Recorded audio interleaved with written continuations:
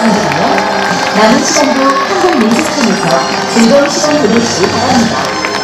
대단히 감사합니다.